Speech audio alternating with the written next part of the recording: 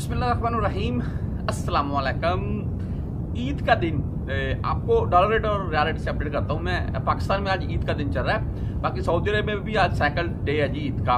तो बहरहाल किसी भाई को अभी तक मेरी वीडियोज़ वगैरह नहीं देखी तो उनको फिर से मेरी तरफ़ से ईद मुबारक है, चाहे आप पाकिस्तान में चाहे आप सऊदी अरब में बैठे हुए हैं। तो डॉलर और रिया रेट के मतलब बात करेंगे जी। मैं देख रहा था अभी के, माशाल्लाह, इनमें काफ़ी बेहतरी आई है इन दिनों में। हाँ छुट्टियाँ चल रही हैं, छुट्टियों के बाद बैंक तो ओपन हो गई।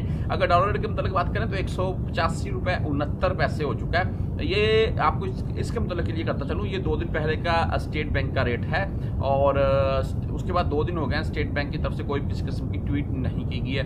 ये देख लीजिए आप, ये रात को मैंने भी, दाएँ हाथ की चिच्ची के ऊपर ये हल्की सी मेहंदी लगाई हुई थी।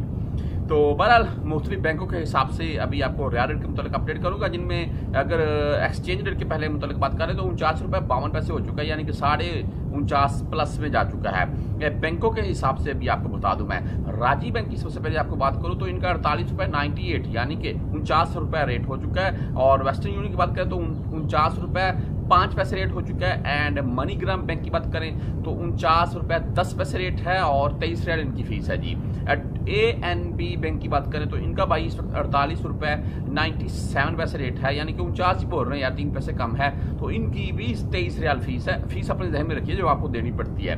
तो अगर एस टी सी पे की बात करें तो अड़तालीस रुपये नब्बे पैसे रेट है और सत्रह रियाल पच्चीस हलाले इनकी फ़ीस है। एंड अगर बात करें फौरी बैंक बैंकल जजीरा की तो इनका रेट है जी अड़तालीस रुपये नाइन्टी एट पैसे, यानी कि उनचास के करीब ही बोल रहे हैं यार सबका रेट है। एक मैंने देखा है, इनमें मनी ग्राम जो उनचास रुपए चौदह पैसे रेट दे रहा है बस। बाकी उनचास के करीब तमाम बैंकों का रेट इस वक्त भी चल रहा है।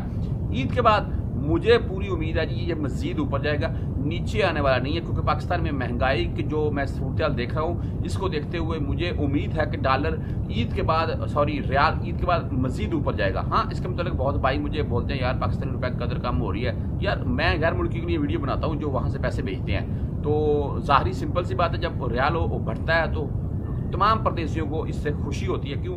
एक हज़ार दिया, पचास हज़ार ले लिया।